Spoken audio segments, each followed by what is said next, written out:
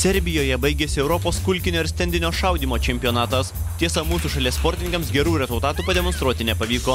Viena iš sėkmingiausiai pasirodžiusių lietuvių tapo Kristina Paliokaitė. Ji pneumatinio šautuvo 3 padėčių 50 m distancijos rungtyje užėmė 35 vietą. Na, iš tikrųjų, čia vertinti kaip ir sunku dar dabar va, tik po varžybų. Aišku, apgalvosiu vakare, kokias klaidas dariau, kas buvo blogai.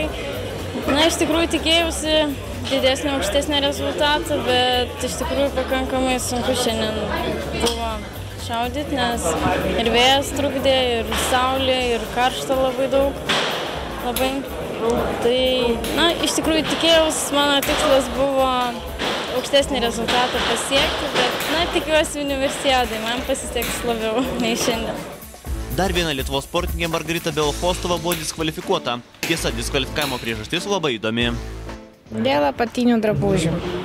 E, ten matuoja storį ir nu, tiesiog mes namuose neturim sąlygų kaip patikrinti. Ir šaudėm tai kaip šaudėm, niekada nepatikrino, o šiandien paėmė patikrinimų ir dėja nepraėjau.